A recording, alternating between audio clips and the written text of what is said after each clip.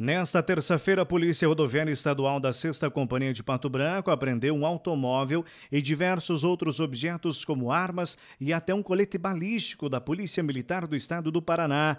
Comandante da companhia, Capitão Batista, conta como foi a ação que iniciou ainda na segunda-feira. Uma equipe nossa aqui da 6 Companhia de Operações com Cães estava desenvolvendo operações na região de Vitorino e ao tentar abordar um veículo né, é, em movimento, um veículo Gol, esse veículo fez menção de parar. Quando a viatura reduziu a velocidade para fazer a abordagem, ele começou a, a, empreender fuga.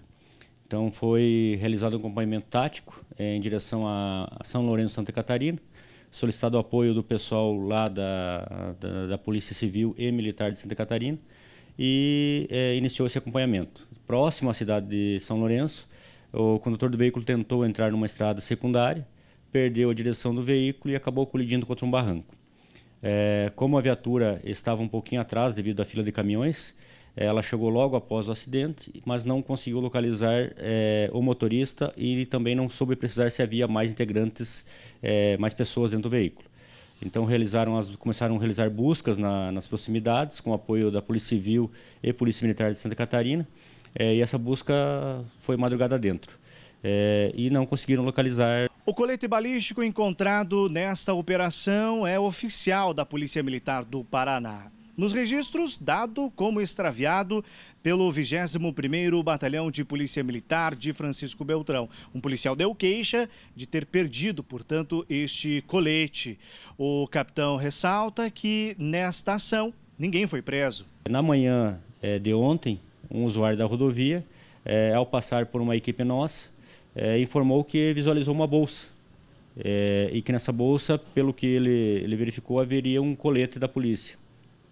Esse policial deslocou até o local, que foi próximo ao local do veículo acidentado, e localizou uma bolsa contendo um colete, um par de algemas, é, um sistema de iluminação conhecido vulgarmente como Kojak, né? então é como se fosse um giroflex, é, e também é, uma pistola 9mm.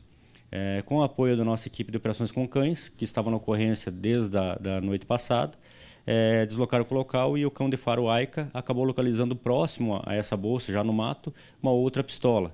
Essa, uh, uma TS9 9mm também. É, todo o material foi apreendido é, e encaminhado para a delegacia. Também foi encontrado um, uma bolsa que continha um bloqueador de sinal. Né? Esse bloqueador é, geralmente é utilizado para bloquear o sinal de algum veículo que tenha rastreador.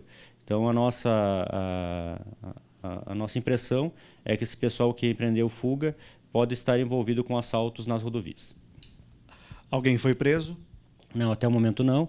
Todo o material foi encaminhado para a Delegacia de Polícia Civil para que eles tomem as providências aí da abertura de um inquérito.